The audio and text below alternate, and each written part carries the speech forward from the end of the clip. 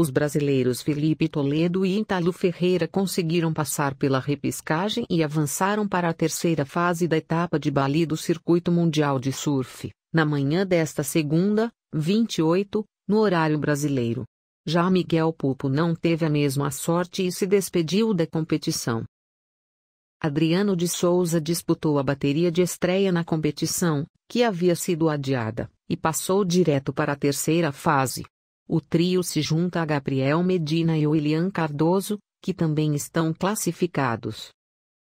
Ian Gouveia, Jesse Mendes, Michael Rodrigues, Iago Dora e Thomas Hermes aguardam pelas melhores condições do mar para disputar a repescagem.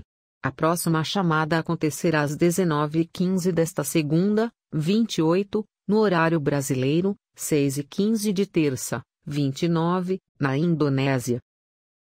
Filipinho foi o principal destaque do dia.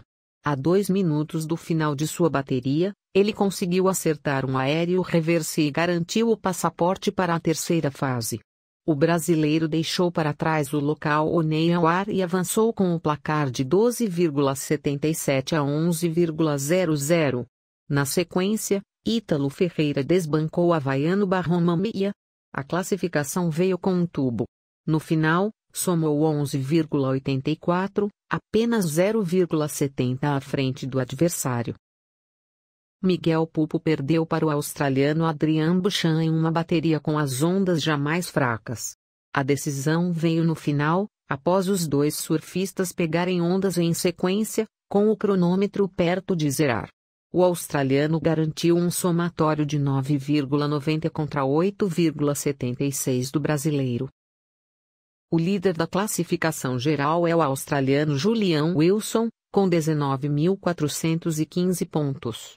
Na sequência aparecem três brasileiros, Felipe Toledo, com 18.075, Ítalo Ferreira, com 14.995, e Gabriel Medina, com 14.160.